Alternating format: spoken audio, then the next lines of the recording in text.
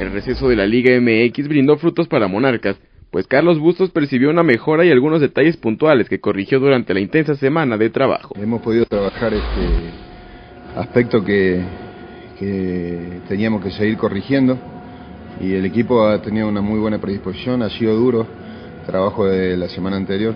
Como semifinalistas de la Copa MX y ya con Monterrey como rival, el técnico de Monarcas no se apresura porque primero piensa en el partido del sábado ante Veracruz. Obviamente que ustedes saben eh, que le damos importancia a los dos torneos, eh, el hecho de, ir ahora a un lugar difícil, tenemos que ir bien enfocados, saber que hay que trabajar el, partido y también este, luego pensaremos en el, en el, martes, pero es una ilusión que tenemos el poder pasar de fase también. Los tiburones serán un duro rival por lo que han mostrado en 13 jornadas, el factor de la localía y a pesar de las ausencias, la peligrosidad de su ofensiva. Tienen a Leighton Jiménez y a Jeú Chiapas suspendidos, pero tienen eh, gente de ataque como Reina, Martínez Borja, Llama, son jugadores interesantes, importantes que, tenemos que controlar bien.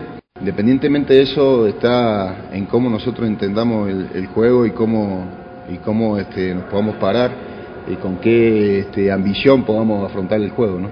La calificación a la liguilla no urge, pero la paridad entre los equipos que pelean un boleto ya presiona a Carlos Bustos. A lo mejor no nos faltan tantos puntos para, para llegar a una calificación, pero igual, este, como es de parejo el torneo, uno no, no tiene por seguro dónde los vaya a conseguir, hay que estar bien, bien enfocado.